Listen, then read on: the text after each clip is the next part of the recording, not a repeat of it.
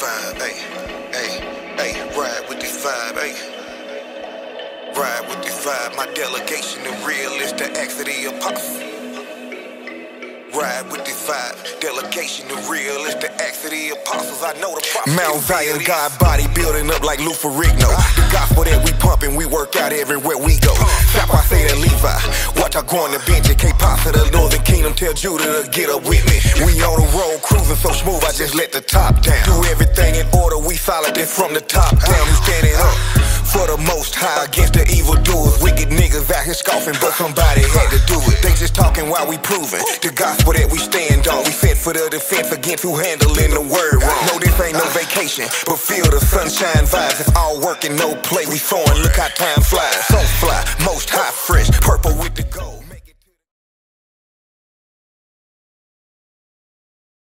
Who this fit. Give me that Deuteronomy chapter 28 and verse 68. Bring it on. Watch this. Deuteronomy 28 and 68. Read. This is the book of Deuteronomy, chapter 28 and verse 68. I want y'all to look at these signs right here. Read. And the Lord shall bring thee into Egypt again with ships. So the Bible says God will bring a certain people into Egypt with ships. My question is this: Do you know what Egypt means according to the Bible?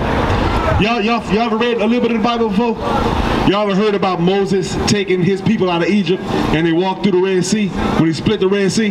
Watch it. Y'all pay attention. Pay attention. Read. This is the book of Exodus, chapter 20 and verse 2. Bring it on. This too, bro. Read. I am the Lord thy God, which have brought thee out of the land of Egypt, The land of Egypt. Watch what Egypt means. Read. out of the house of bondage, What does Egypt mean?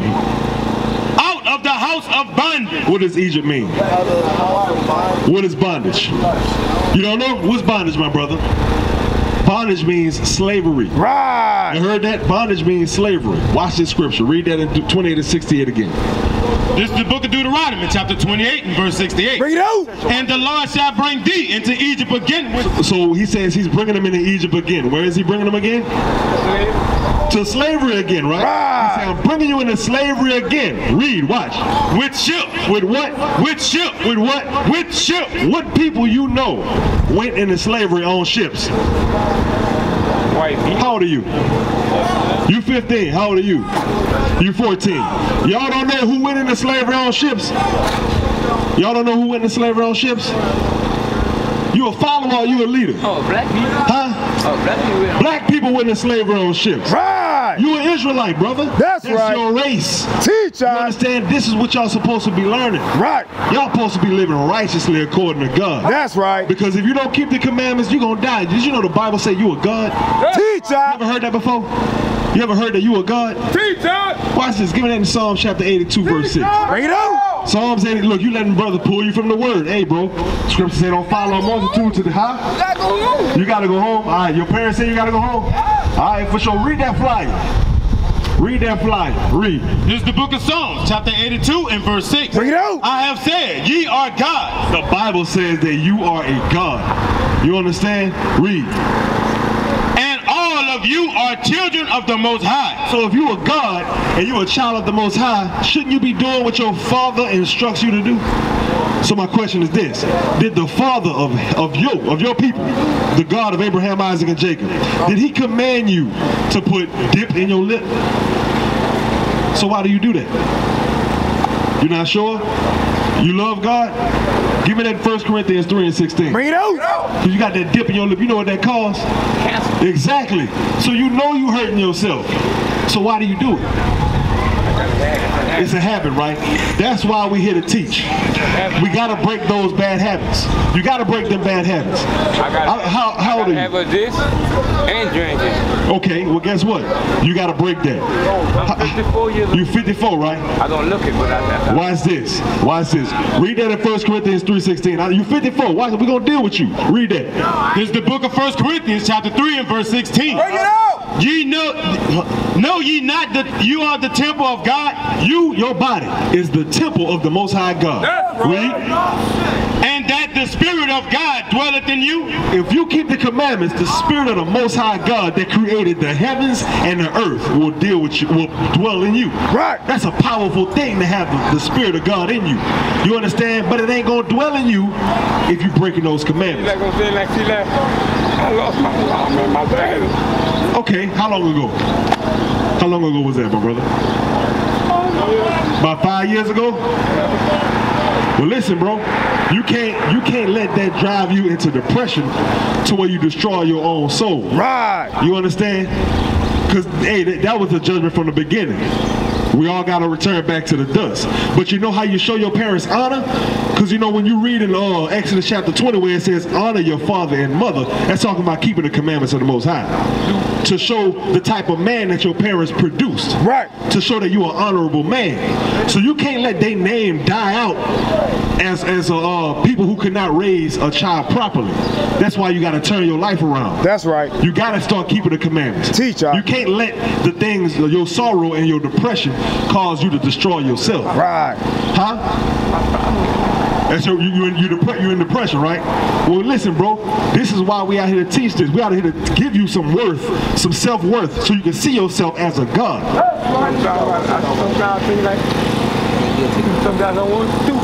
You know why? Because you don't really America, we taught that the black man ain't nothing.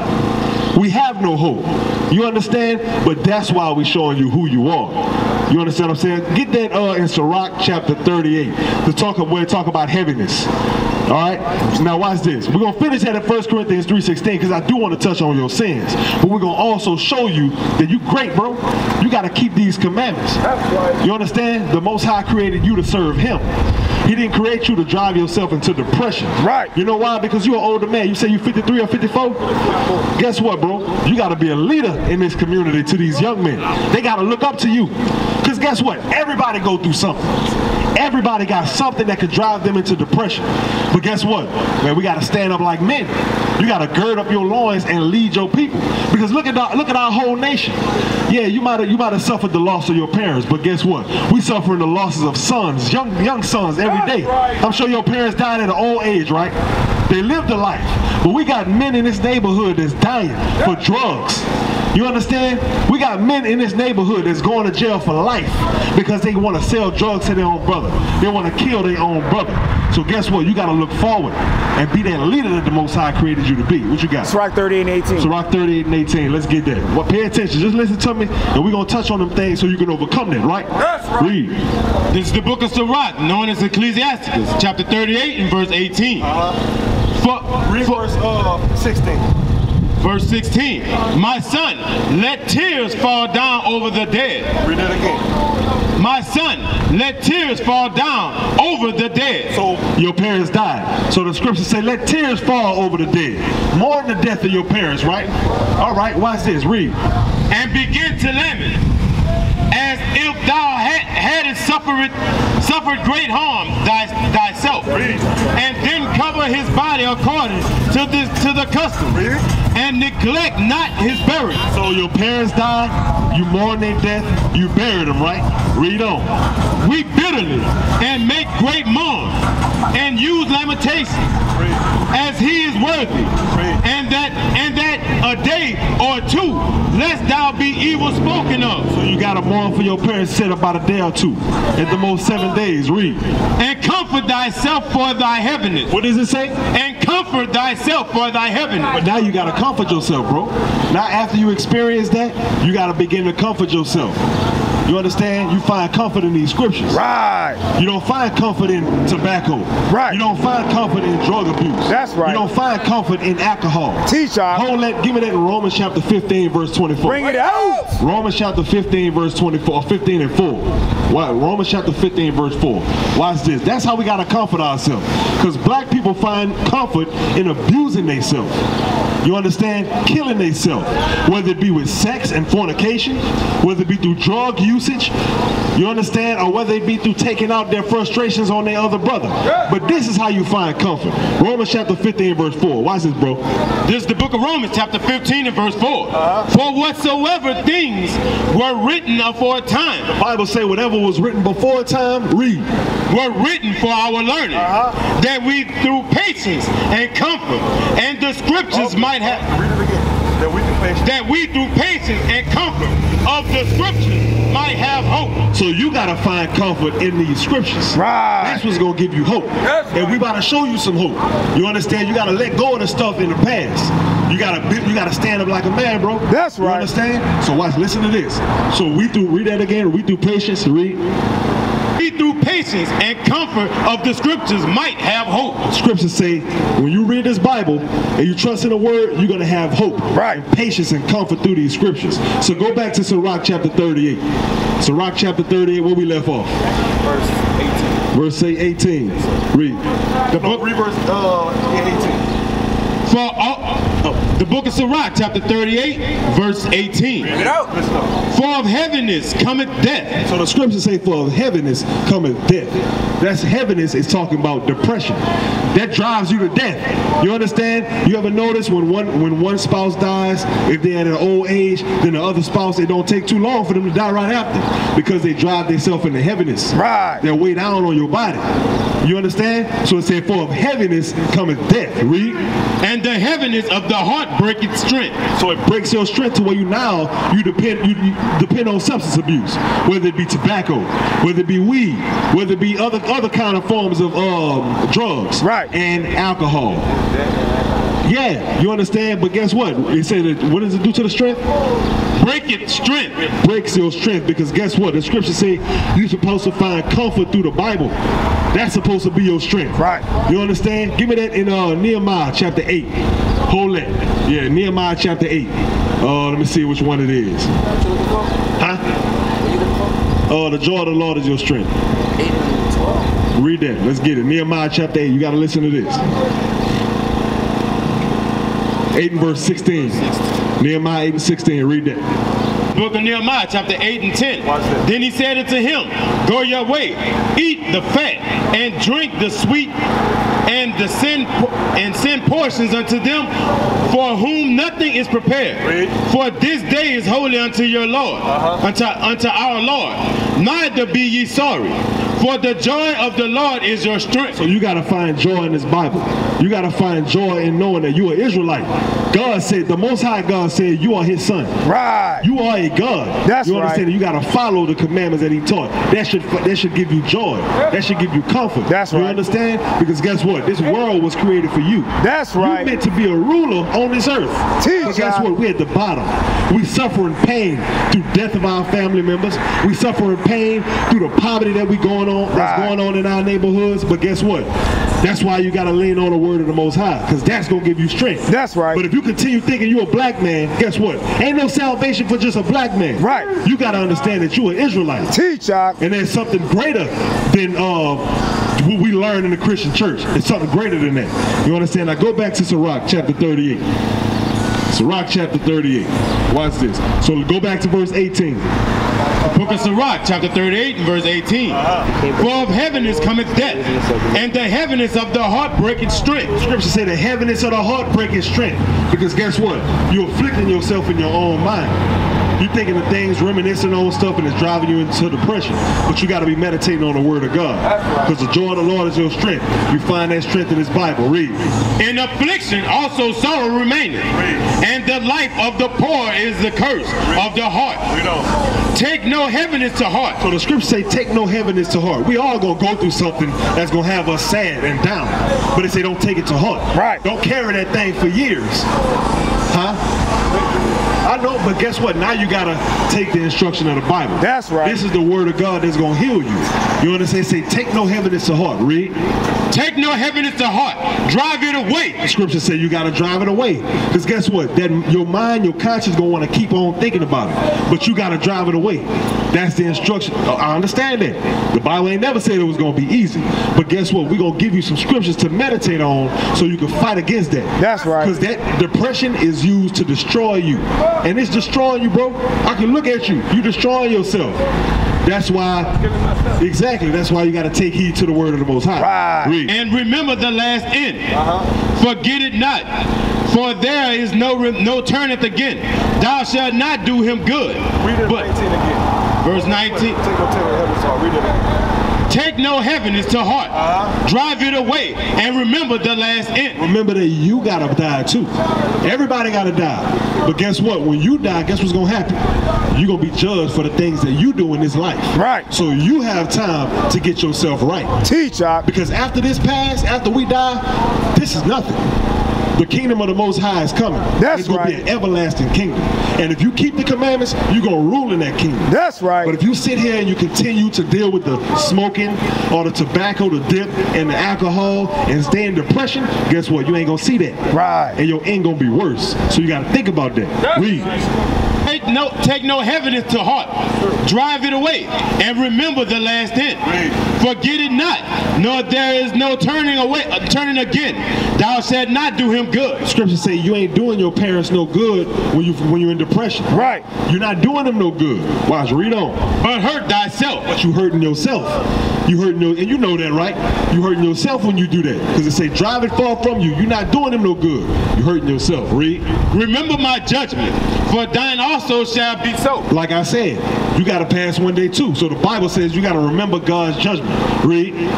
Yesterday for me, Yesterday for your parents. Read. and today for thee. Then your day is coming as well. Read on. When the dead is at rest, uh-huh. let his remembrance rest. Be at, Lord said, be at rest. Read. And when the dead is at rest, let his remembrance rest. Y'all pray. So it said when the dead is at rest, you got to let their remembrance rest. Right. You can't let that keep coming in your mind and keep you in the same place as you was five years ago. Right. You got a question? You gonna let me finish this? Can, can it wait? All right, watch. Read it. And be comforted for him. Be what? And be comforted for him. The scriptures say you got to be confident. You got to be confident for the death of them. Right? Okay. But guess what? You got to try harder. Right. This is the first time you ever heard this. You wanna, this is the word, and I'm gonna show you something. We're gonna get Wisdom of Solomon, chapter 16 and verse 12. But hold up, finish that.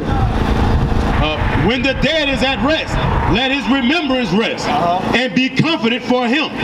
When his spirit is departed from him. So you got to be confident, right? Get that in Wisdom of Solomon, chapter 16, verse 12. This is the first time you're getting the instruction from God of how to heal that depression. Right. How to heal, how to heal yourself from the things that you've been afflicting yourself with. That's right. You understand? Because guess what? That's an internal battle within you, and the world's still moving forward. Teach, The Ak. world's still going forward, but you still in the same place that you was five years ago. You understand? Wisdom of Solomon, chapter 16 and verse 12. Wisdom of Solomon 16 and 12. Watch this. Yeah, that's right. Now we got to bring you back to reality.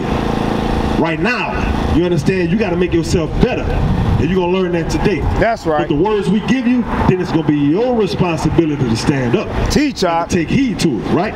Read on. The book of wisdom of Solomon, chapter 16 and verse 12. For it was neither earth nor mollifying plaster that restored them to health, but thy word, O Lord, which healeth all things. Scripture say the word of God heals all things. That's why the things you being you being taught today, you got to remember that. Right. You got to take heed to it. The word of God, the word of God just said, remember His last end. Drive that sorrow away from you. That's how you heal from that. But if you continue to stay in the same place, continue to drink, because guess what? That drink, that alcohol, it keeps you in that mode of being emotional. You Right. understand? It keep them thoughts in your mind. That's right. You understand? You got to put that alcohol to the side. You got to just stop it. You understand? Take a break from the alcohol. Stop the um, stop the, the dip in your lip. You understand? Because that's gonna keep that spirit coming back. Right. You got to feed yourself with the word of God. That's Give right. me that in Matthew chapter four and verse four. Bring it out. Get Matthew chapter 4 and verse 4. So it said, The word of God heals all things. You understand? Read that. The book of Matthew, chapter 4, verse 4. But he answered and said, It is written, Man shall not live by bread alone, but by every word that proceeded out the mouth of God. So guess what? You got to leave that alcohol alone. Right. It said, man should not live by bread alone. Now, of course, we know that's talking about food, but now you got to live by the word of God. You got to meditate on these commandments. Get you a Bible, read it, understand it, and get taught by the men of God. Right. What you about to say, my brother? Right. Right. It caused you to lose weight and everything, right? Well, guess what? You can change that. You can change that today. Watch this. We're gonna help you change that today. Go back to Revel. I mean, go back to 1 Corinthians 3 and 16. So guess what? You ready to change your life today? You, you seem hesitant. You ready to change your life today? All right. Why is that? Read it. The book of 1 Corinthians, chapter 3, verse 16. Bring it out. Know ye not that ye are the temple of God? So now you learning that you are the temple of the Most High. You special to the Most High God. Right. You understand? He wants to dwell in your body. So this is your calling today. Most High is letting you know you're the temple of God. Your body is not to be used to the, to um to destroy it Right. by smoking, to destroy it by getting drunk. You got to clean yourself up. Read. And that the Spirit of God dwelleth in you. Uh-huh. If any man defile the temple of God, You defile that temple by continuing to dip, by continuing to smoke, by continuing to get drunk. What's gonna happen? Read. him shall God destroy. God will destroy you. That's the judgment from the Most High. So guess what? This is the instruction right now from God. Take that dip out your mouth. Spit that stuff out. All praise to the Most That's High. right. That's repentance. That's the first step of your healing process. Taking that out. Putting that away. What a can it.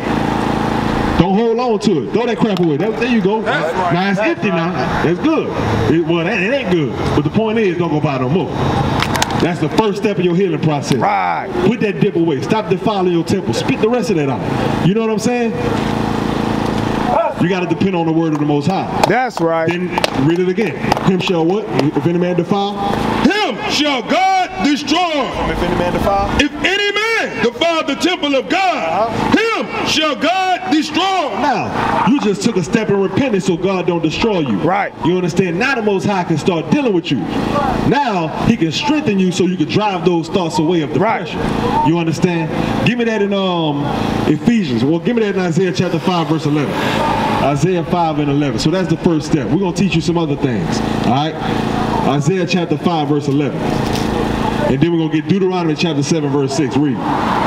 The book of Isaiah, chapter 5, verse 11. Woe unto them that rise up early in the morning, that they may follow strong drink. The Bible say woe, which means destruction unto them. They'll rise up early in the morning that they may follow strong drink. I can almost guess that you get up early, you get you a beer, and you keep on getting them throughout the day, right? What the Bible just said. The Bible say, woe to them that do that. Woe means destruction, right? Read on. That's that alcohol right there? What you about to do with that alcohol? All praise to the Most High. That's your second step. Taking heed to the commandments of God. Read that again.